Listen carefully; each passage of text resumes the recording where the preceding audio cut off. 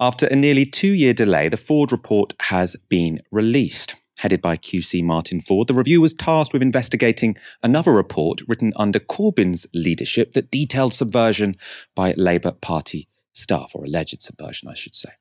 It was widely known as the Labour leaks, which we, we covered um, well on this show. Now, the remit of Forde's review included the circumstances in which the Labour Leaks report was written and the circumstances of it being leaked, as well as the many claims it made. And perhaps surprisingly, as this report was commissioned under Keir Starmer, Forde vindicates much of what that original leaked report stated. For example, you might remember that some of the most explosive parts of the Labour Leaks report involved WhatsApp groups messages from senior anti Corbyn staff in HQ.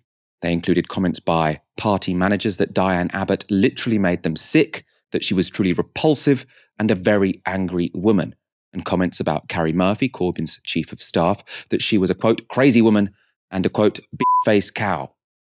Of the leaked WhatsApp exchanges, the Forde report says it has been put to us by a number of witnesses that the extracts of the messages quoted in the leaked report were cherry picked and selectively edited, such that the quotes that appear in the leaked report are both unrepresentative and misleading. Having reviewed the transcripts and considered evidence from many of those involved, we do not agree. We find that the messages on the SMT, so Senior Management Team WhatsApp, reveal deplorably factional and insensitive and at times discriminatory attitudes expressed by many of the party's most senior staff. The report also said the criticisms of Diane Abbott are not simply a harsh response to perceived poor performance, they are expressions of visceral disgust, drawing on racist tropes, and they bear little resemblance to the criticisms of white male MPs elsewhere in the messages. All incredibly damning there. In another passage of the report, it says, We have taken into account that many of the comments were made in jest and were not intended seriously or literally contrary on occasion to the leaked report's framing of them. That does not, in our view, negate all criticism of them. It is, or should be, self evident that saying that you hope someone has been run over by a train or that someone deserves to die in a fire is reprehensible, even if you were joking. For party staff to consider such jokes acceptable in relation to colleagues or party members suggests to us that they had become detached from both professional and personal norms. We're going to go through multiple um, key parts of the Forde report. That was just um, the parts that concerned offensive and discriminatory attitudes among senior staff. Before we go on to those other parts, I want to bring in my colleague Aaron Bastani um, for his thoughts on the Forde report. You know, as those um, quotes I've just read out suggest, it's quite punchy, isn't it? It doesn't read as a whitewash. No, it's certainly not a whitewash, Michael. Um, it, it's very, in, in parts, I think that that for me was a real knockout. The one you said, for instance, about the senior management team that was a real set of knockout sentences. I thought that was the the paragraph for me that really just cut through the media bullshit and was very clear. It is, however, a legal document. I mean, in particular, the recommendations are quite anodyne. But what do you expect? You know, you're not going to have a QC start declaring that people are verboten, that they're cancelled, and that it's disgraceful and they should be ostracized. That's the language of the wingnut Labour right and of the media. It's not the language, generally speaking, of, of lawyers and, and legal inquiries led by QCs. So there is some ambiguity. Obviously, I think you've had to please and appease multiple stakeholders. I'm sure that there have been multiple edits, but you're absolutely right. On four or five hugely important topics, all of which have been really mocked by the media, the verdict is absolutely clear. And I guess we'll go over this, uh, you know, over the next 5, 10, 15 minutes. But any one of those paragraphs, including that one you've just read there, Michael, about the senior management team and how the leaked WhatsApp messages, which we first reported on Novara Media, was actually representative of a toxic and, quote, discriminatory culture at the top of the organization. If I had said that on the BBC or Sky News, uh, I would have been mocked and laughed at and jeered, not just by the other guests, but often the hosts too. And so, what I think is super interesting here is, like you say, the often punchy, not always, often punchy language that comes through here, and how much at odds it is with the lazy, pedestrian, low information analysis we often expect from mainstream media. Let's talk next about anti-Semitism, one of the key topics of the Forde report, and of course, you know, how it was handled. As you remember, during Corbyn's leadership, the Labour right claimed that he was responsible for an outbreak of rampant anti-Semitism in the party, and that he was also responsible for it going unpunished. In contrast, the Labour Leaks report said that while anti-Semitism was a problem, Many of the troubles the party had in addressing it were down to subversion from the party's right. Now, the Forde report was tasked with adjudicating these competing claims, and it seems to really have decided to both sides the issue. So the Forde report reads The evidence clearly demonstrated that a vociferous faction in the party sees any issues regarding anti Semitism as exaggerated by the right to embarrass the left. It was, of course, also true that some opponents of Jeremy Corbyn saw the issue of anti Semitism as a means of attacking him. Thus, rather than confront the paramount need to deal with the profoundly serious issue of anti Semitism in the party, both factions treated it as a factional weapon. So, as I say, but you know, everyone had a little bit to blame. It's not particularly ex- explanatory um, in that sense, to my mind at least. Forde's judgment with respect to media reporting on the row, though, was more unequivocal. So we'll go to the Forde report's verdict in one moment. First, let's just remind you of the most impactful coverage of Labour and anti Semitism during Corbyn's tenure. It was a BBC Panorama documentary hosted by John Ware. Corbyn and his office have repeatedly said that when party members are accused of anti Semitism, they don't interfere in the disciplinary process. Indeed, the Labour Party said any such suggestion is categorically untrue. But that doesn't seem to be the case. In an email, Mr Corbyn's Director of Communications, Seamus Milne, asked for a review of the disciplinary process into anti Semitic complaints. There was a risk, he said, of muddling up political disputes with racism. The Labour Party told us this was not a request for any kind of formal review. How did you interpret that email from Mr. Milne? The, the same way that all staff in Labour's head office did, which is that this was the leader's office requesting to be uh, involved directly in the disciplinary process. This is not a helpful suggestion, it is an instruction. But it's framed as a suggestion. Yes, it's all framed as a suggestion. But this is not some junior staff at the leader's office. This is Seamus Milne, Director of Communications, part of Jeremy Corbyn's inner circle. He is probably one of, if not the most influential person within the leader's office. And in that context, when he says, I think we need to review this process going forward, that isn't a suggestion. That's him instructing what he expects to happen without needing to say it. The leader's office did not intervene. These former disaffected employees sought the view of staff in the leader's office, which was complied with in good faith. These disaffected former officials include those who have always opposed Jeremy Corbyn's leadership, worked to actively undermine it, and have both personal and political axes to grind. The claims in that documentary that Corbyn allies interfered in disciplinary processes and the implication was to let people off, they were incredibly damaging. And I remember the period well. Criticizing the documentary was almost impossible in the mainstream media. The moment you did it, and we all did it at Novara, you were dismissed as a conspiracy theorist and an apologist for anti Semitism. Let's look at what the Forde report had to say on that topic and on the media coverage of this issue. During spring 2018, the period on which much of the reporting has focused, LOTOs, that's leader of the opposition staff, provided input into specific cases after it was sought, sometimes insistently by HQ staff who refused to proceed until they had it. HQ staff say that they were forced into making those requests by persistent offline interference by LOTO, which they wanted to bring into the open. Whatever HQ's motives, however, we find that LOTO staff responded to the requests for the most part reasonably and in good faith. We note that their responses were subsequently used to form the basis of wholly misleading media reports, which suggested that LOTO staff had aggressively imposed themselves on the process against HQ's wishes. Aaron, what's your take on how the Forde review or the Forde report has, has addressed the anti Semitism row? Well, on the specifics of the um, the John Ware Panorama documentary, Michael, I mean, this is utterly extraordinary. This is a stake through the heart of the reputation of John Ware and of also the BBC, I believe. Many of us, many of the people watching this, grew up with a great deal of respect for the BBC, but particularly for its investigative journalism. At the time, of course, ITV also did that very well, the Cook Report and so on. But Panorama was really something of a gold standard when it came to investigative journalism, original news gathering, breaking hugely important stories. What we got with John Ware and Panorama and this hit job fundamentally on the Labour Party was nothing more than an intentionally, I believe, misrepresentative story of the facts. And it took a QC uh, and it took this two year uh, process, highly legal, highly formal, out of the glare of the public eye to make that clear. Now, to return back again to this appalling Panorama documentary, which I think really does undermine Panorama's reputation from here on in, I will never trust it ever again. It was nominated for a BAFTA, Michael, this documentary. This, this mercilessly unfair, unscrupulous piece of half truths, which clearly started with an agenda, I believe. I think that's quite obvious to anybody watching the people being interviewed and how they're treated, the leading questions by John Ware.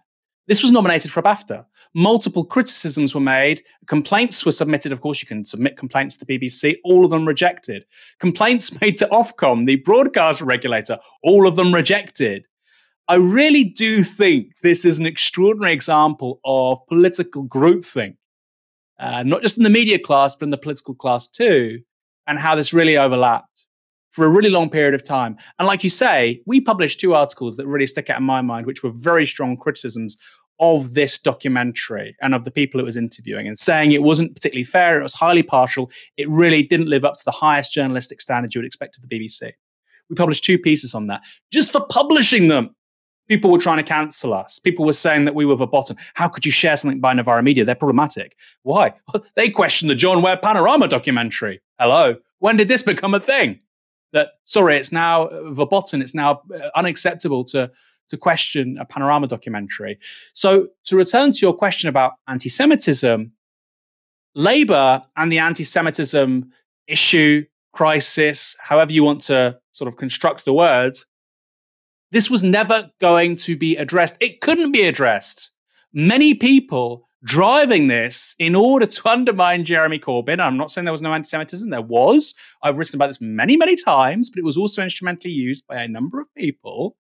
A number of people never wanted it to be sold for quite clear reasons because they viewed it explicitly as an Achilles heel that could undermine and undo the Labour leadership. And uh, that's people tweeting about it online, Labour organisers, people are, uh, who are quite active in local CLPs and whatnot. And I think it's a tragedy that what should have been a, a really important collective moment for education and learning around anti Semitism, which is often a, a, form of racism which can be insidious, half understood. People might perpetrate it without even realizing. I think what could have been a really awesome um, collective learning experience was wasted because some very malicious, malevolent people, many of whom are active in the media, didn't want that. They wanted to misrepresent and defame a political leader because they didn't agree with a number of his policies. We should probably say, because he is quite litigious, I have every confidence John Ware would vociferously deny um, that he made that documentary with any bad intentions or with any agenda, and that it was, you know, purely um, all from an objective journalistic standpoint. Although, of course, um, I wholly agree with you, Aaron, about the output. Um, I think it was a pretty shoddy piece of journalism. On the topic of journalism, let's discuss how the media have covered the Forde report itself. So, The Guardian focused on the both sides narrative in the report. Their headline reads Anti Semitism issue used as factional weapon in Labour, report finds. And they've said the report commissioned by Keir Starmer highlights toxicity on both sides under Jeremy Corbyn.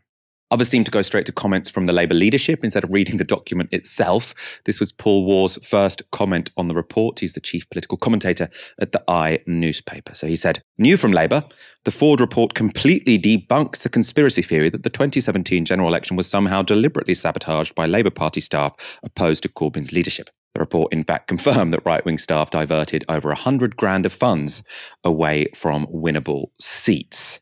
I suppose what's being drawn upon there is that the report said, oh, that wasn't necessarily them intentionally um, trying to throw the election. So it seems like a slanted takeaway to me. And slanted takeaways were very much forthcoming from the Labour leadership.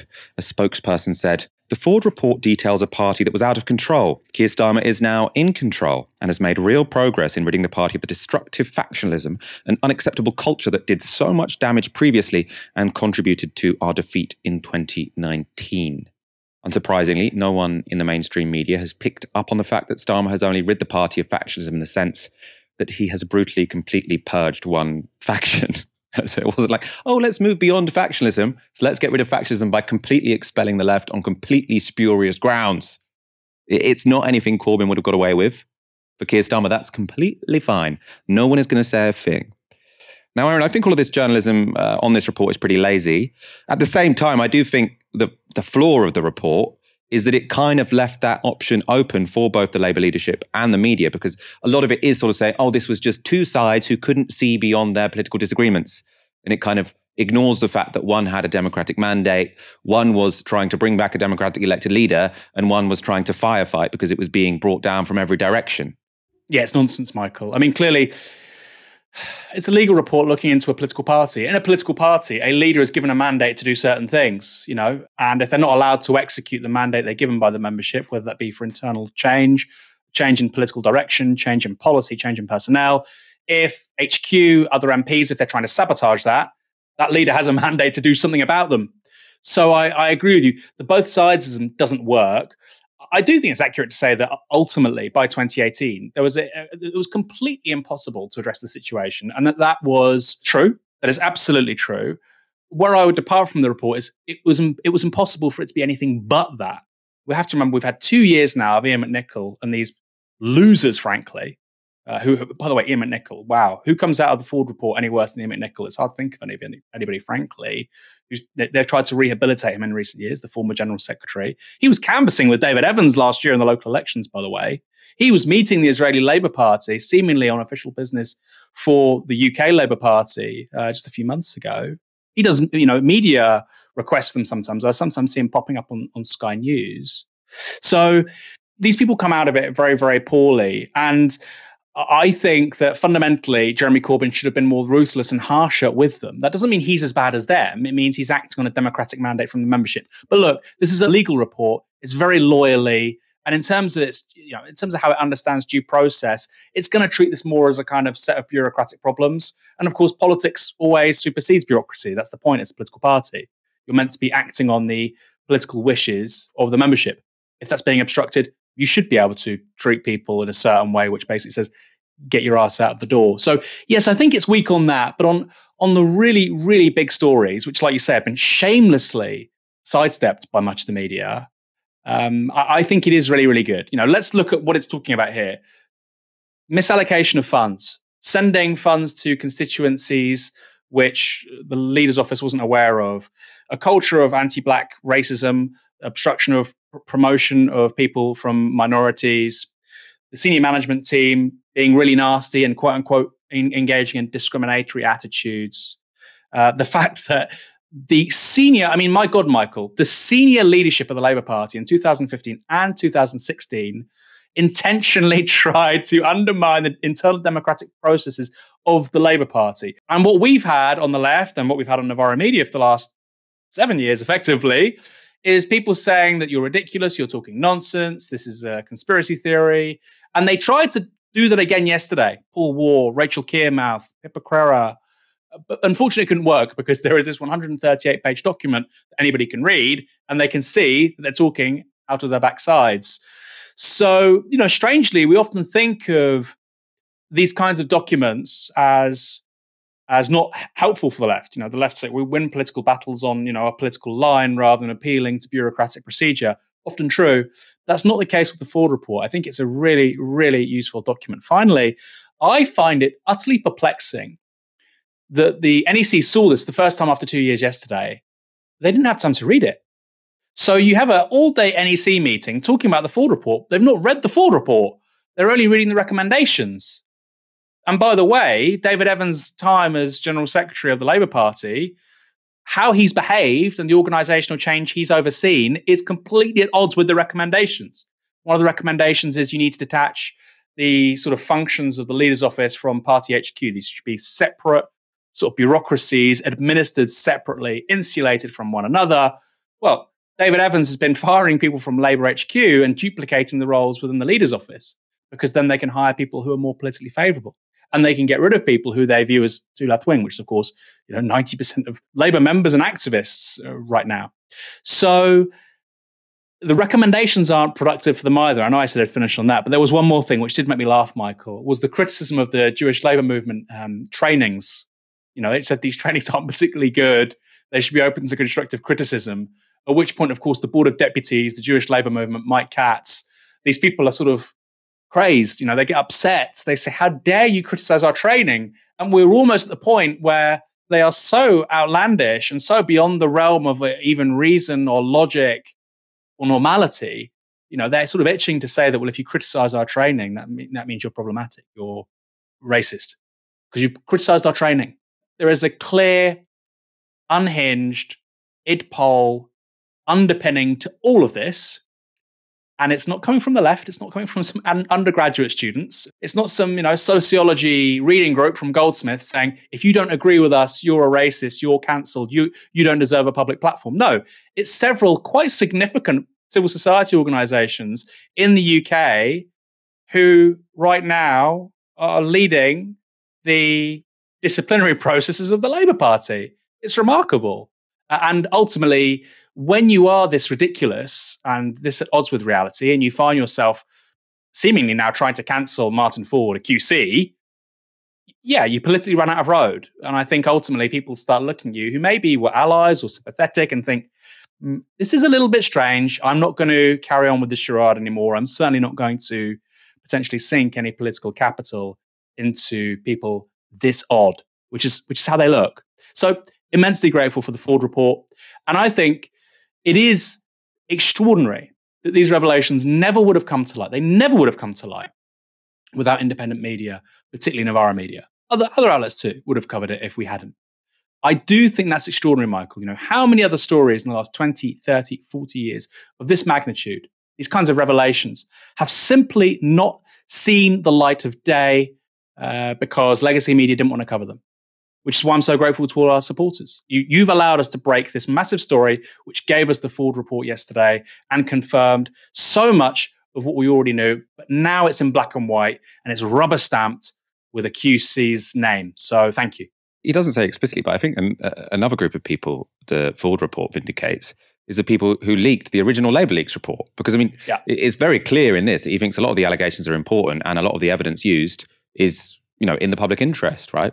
So I know there were criticisms, you know, the, the, name should have been redacted or some of the names should have been redacted or whatever, but I'm very, very grateful for whoever it was that leaked that report because I think our understanding of British democracy is much stronger for it. I find it weird that sort of most of political journalism sees it as some kind of taboo to leak a report such as this. We're journalists, we're supposed to like it when things are leaked, which shine a light on stuff which would otherwise go unnoticed. Yet, because it's damaging to the Labour right, because it's on this touchy issue of anti Semitism, suddenly no one wanted to report on this thing. They're like, oh, it shouldn't have been leaked in the first place. You're supposed to be journalists. What's going on?